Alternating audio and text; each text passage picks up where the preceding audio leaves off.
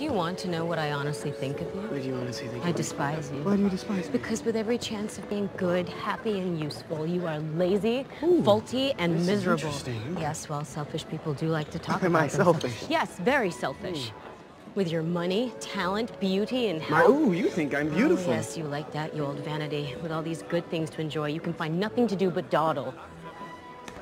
I'll be good for you, Saint Amy. I'll be good. Aren't you ashamed of a hand like that? No, I'm not. Looks like it's never done a day of work in its life, and that ring is ridiculous. Jo gave me this ring.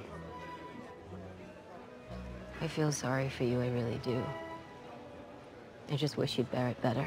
You don't have to feel sorry for me, Amy. You'll feel the same way one day. No, I'd be respected if I couldn't be loved. What have you done lately, oh, oh great artiste?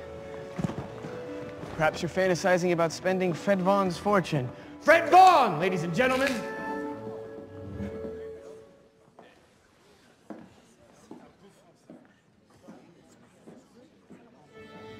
Fred, I'm so sorry.